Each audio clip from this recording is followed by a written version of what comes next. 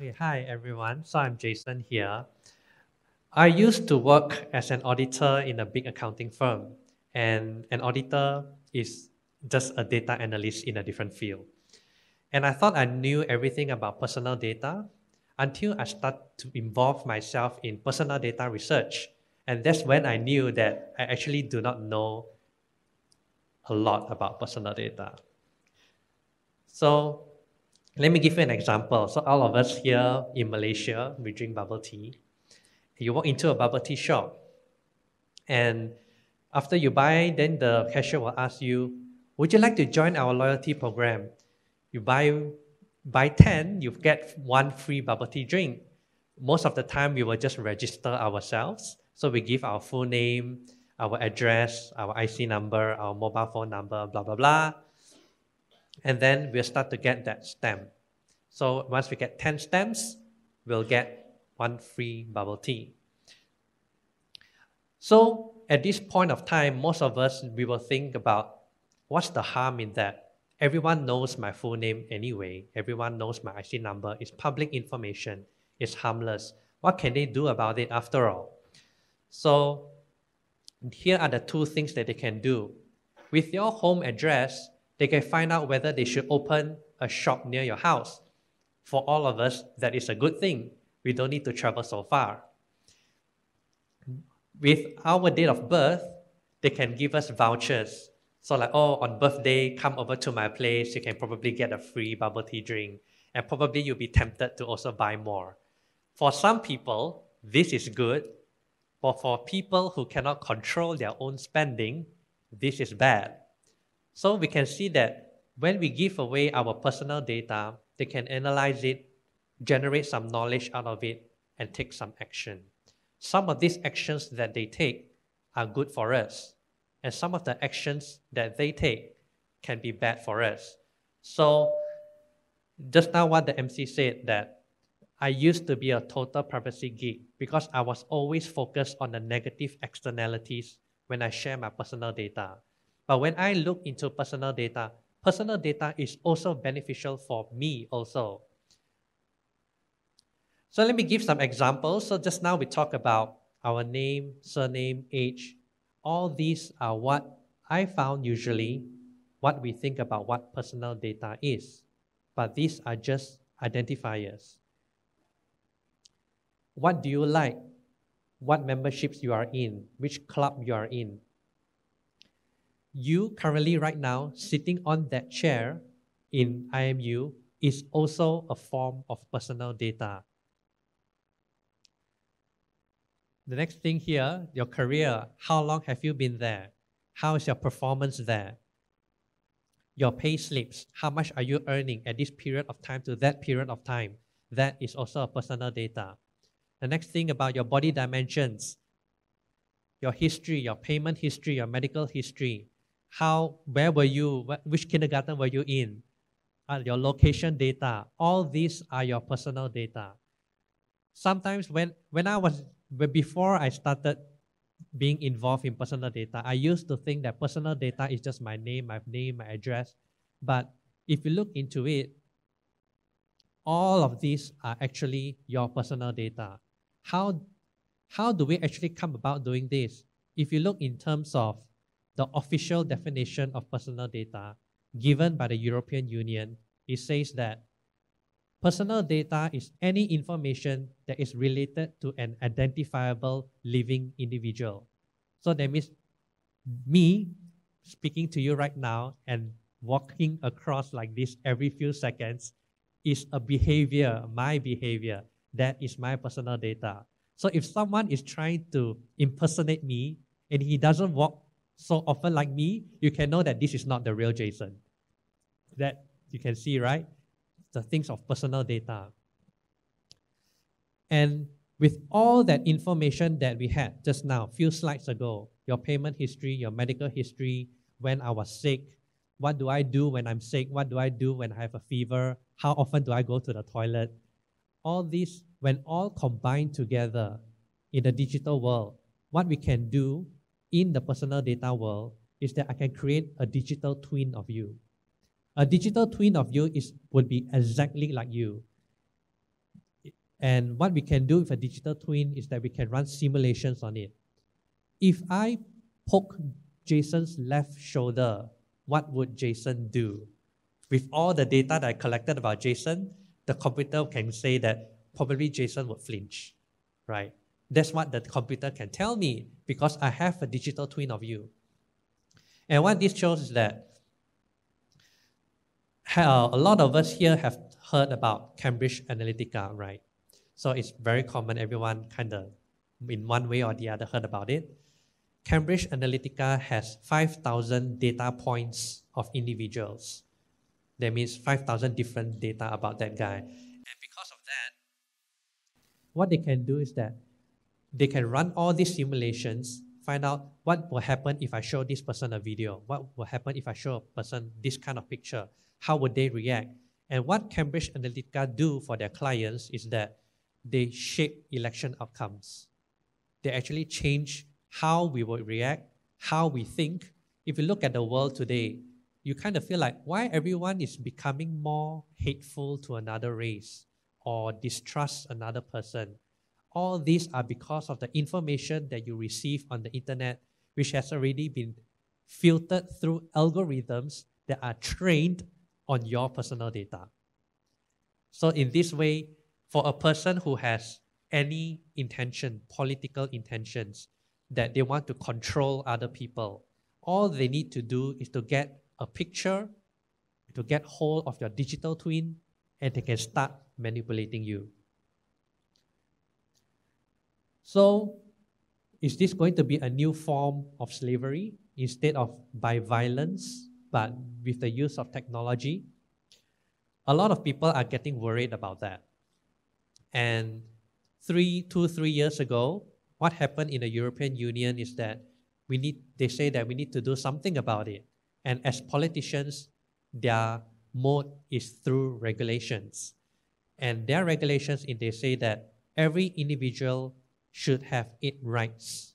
And these eight rights should be respected by companies. So, what are the eight rights? So, the eight rights are on the board. I'm going to just read them and just probably give a little bit of illustration. The first one is the right to be informed. So when sometimes when you all fill up an application form, they will say that, would you like, uh, would you agree uh, we will use your personal data for marketing purposes? That is your first right. They must tell you what are they going to do with your personal data. The next thing is the right of access. Here, we, you don't really see it happening here in Malaysia, but in the Europe, you can write an email to any company out there and say that I want to know all the information that you have of me, and you, they must revert back to you in two weeks. They probably will give you a zip file, or they could probably send you a CD of all the information that they have on you. That is your right. The next is the right to rectification.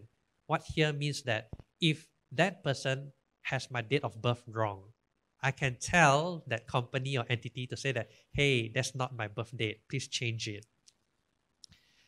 Next is the right to restrict processing.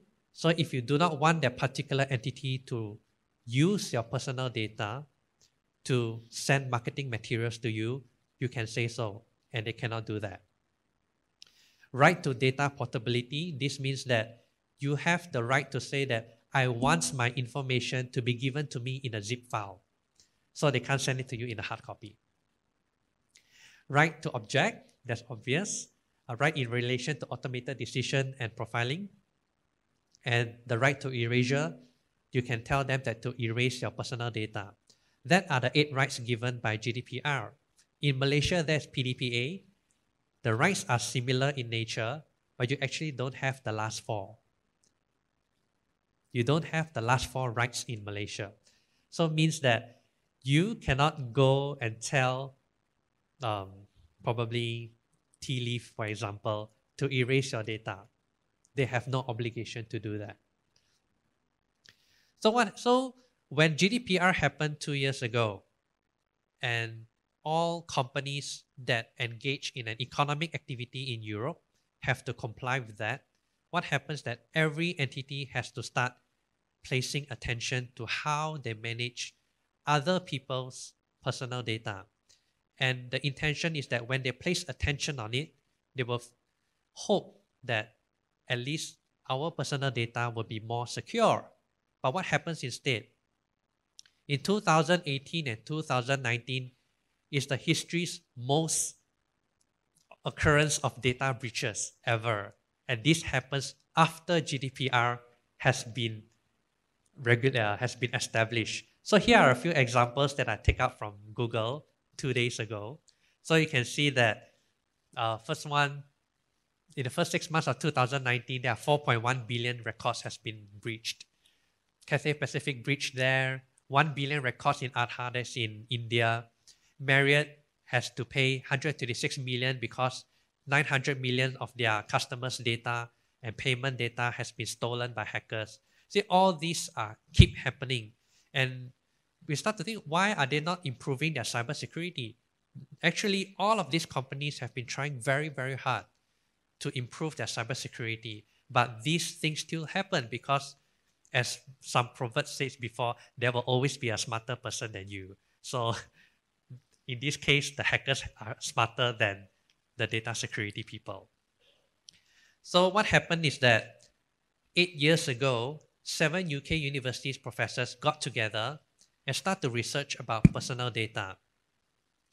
And what they found out was there is a serious problem in how we approach data systems. And it all boils down to one simple question Do corporates and entities really need to hold personal data? We don't usually question that because every time we build an application as developers in the hall, we will know that we will definitely need to get the user to register an account, give us their full name so we know how to identify them, to get their email, their password, so we can, you know, send them vouchers and all that. And then we must store this data somewhere in our server. This is something that is no longer questioned anymore. It's become so template that you can actually copy paste from GitHub somewhere. So we question this do companies actually need to do that? If you think about it, when you register yourself at a bank, the bank has verified you, and from then on, what happens to you? You become customer 12345. They no longer address you by name anymore. You become customer 12345 on their system. So that shows that they don't really care about your personal data unless they want to show that they're human. And you can see all the banks in the world, like Maybank, humanizing financial services. And through their research, we found a few things that will actually get to see data in a new way. The first thing is that data is actually co produced. No one produces data by themselves. You see, right now, what happens is that companies they tend to think that, oh, I collected this data, this data belongs to me right now. No, that's not true because if I do not have a service with you or and if I did not interact with you, there is no way that data can be generated. That data generated belongs to both the individual and the company. The next thing is that using any form of data does not prevent anyone else from using it. So if I have a copy of my data and you have a copy of my data, when I use it, does not stop you from using it. That is very different from me holding this mic. When I'm using this mic, no one else can use it. But that is not true with data. This is a unique thing about data. The next thing is that data can be duplicated infinitely. So I like this phone, uh, this mic microphone again. There is only this microphone in this world, but data can be copy pasted anywhere. Means that theoretically, that data can be infinitely duplicated. The next thing is that data has a diminishing store of value. Yes, we hear a lot that data is the new oil, but we should not forget that unlike oil, oil is useful forever because they don't decompose. But data do decompose in a way. Let's say, for example, like if you get a personal data of me right now that I like chocolate 20 years ago, does that mean that I like chocolate right now? Most most probably yes, because it's chocolate, but some people can just go and say that no, I don't want to eat chocolates anymore. Right? Data has diminishing store of value. It gets more and more useless over time. The next thing is that the only way to prevent others from using data is actually via a legal or technological framework. We have a legal framework in terms of GDPR, but we don't have a technological solution. The next thing is that the data can actually be treated as a currency. How does this work? When I, for example, I'm having a birthday coming on, and you want to buy me a birthday gift. If I don't tell you anything, how would you know what to buy for me? I need to tell you something about myself, right? So I said, I like chocolates. So when I give you that personal data information of me, you can now go like, ah, I should buy Jason a chocolate. So in a way, data has been used as a currency. I told you what I like, and I got a chocolate back. I paid the chocolate with my personal data. And here, there needs to be a trust anchor when it comes to managing data transactions because right now we don't know who to trust, right? So with all this in mind, our research from eight years ago, we started to develop a technology called the Hub of All Things Technology. And the Hub of All Things Technology encompasses all these research findings that we get into this kind of format. If you look at the world today, every application that we all download right now requires us to register a user account. So if I have 100 apps, I have 100 user accounts, 100 usernames and passwords, and I'll probably forget 75% of them. And what we do here is that with, with our technology here that we develop, we give each and every person a personal data microserver. This is what we talked about earlier that there needs to be a legal framework. Because data can be duplicated infinitely, you cannot have ownership on data. But there can only be one database. And any data within the database belongs to the owner of the database. So hence in that way, when you have your own database with all your data inside, you own it, and then you can start sharing with other people. And with that concept in mind, this is what we would seek to achieve, which is what all of us would want also. That whenever we share our data with other people, we want them to give some benefit back to us, but not to use it to manipulate us for their own ends. And that is what I think about why what happens to me when I turn from a total data privacy geek into a data mobility advocate. Because when we start sharing things that we have, or we start respecting rights in terms of property rights, that's when total prosperity will increase. Just look back into history. In the beginning, no one owns anything. We just go into the forest and pluck some berries, and then we just say that this is mine. But who owns that tree? No one owns that tree. But when we start to recognize farms, this farm belonged to Jason, then no one will start, you know, stealing from Jason then everyone will start to increase their productivity, total prosperity will increase. This is what we expect when we give each and every person intellectual property rights to their own personal data. When you have your own rights to your own personal data, you can expect that your total prosperity will increase just as much as you have physical property rights. Thank you.